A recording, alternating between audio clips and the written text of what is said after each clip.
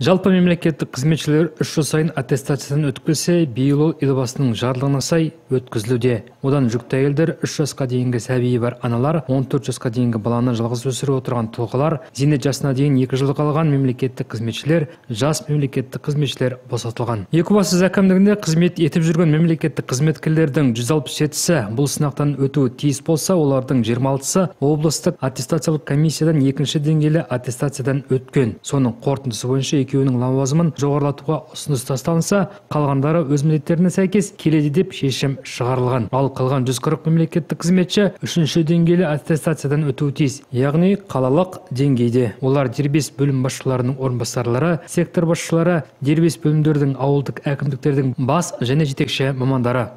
Жалпы дайындық өте жақсы. Әрине қобалжып тұрмыз. Бұл мемлекеттік аппараттық қызметінде 11 жыл қызмет етемін. Елбасымыздың жүз нақты қадам реформасында кәсіби мемлекет аппаратын құруда белгіленген. Мемлекеттік қызметшілер аттестациядан кешенді өткізу жөнінде. Бұл жолғы аттестация бір реттік әрі кешенді. Соның барысында арнайы автоматтандырылған бағдарламаның көмегімен маманның өз қызметін тиімді атқару құзыреттілігі тексеріледі. Құндыз қасенованың мемлекеттік қызметтегі еңбек өтілі 15 жыл және ол аттестациялық комиссияның алдынан өтіп шыққан мамандардың бірі. Вопросы были по компетенции. Сұрақтар құзыреттілік бойынша болды. Мемлекеттік қызметкердің шұғыл шешім қабылдай алуы, басқа мемлекеттік органдармен қарым қатынас орнатуы, жұмысқа деген жауапкершілігі, ынта жігері, халыққа деген мейірімділігі бағаланды. комиссияның құрамына келсек олардың арасында нұр отан партиясының ардагерлер кеңесінің мәслихат депутаттарының қалалық қоғамдық кеңес өкілдері бар деңгейіне келсек тапсырып жатқан адамдардың шынында да қызметіне сай тыңғылықты жауап беріп жатыр не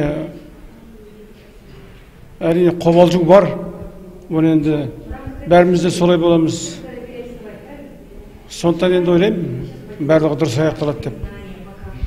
Жалпы жаман емес жүріп жатқаны аттестациялық комиссия қызметкердің жоғарылауы лауазымның төмендеуі немесе жұмыстан босатылуы туралы шешім қабылдай алады. Кешенді шараның мақсаты мемлекеттік қызметкердің кәсіби біліктілігін тексеру мансабын өсіру үшін олардың әлеуеттерін анықтау. Айта кетуіміз керек мемлекеттік қызметкерлердің бұл сынағы елімізде маусымның 15-іне дейін аяқталуы тиіс болса қаламызда осы аптаның соңында аяқталады.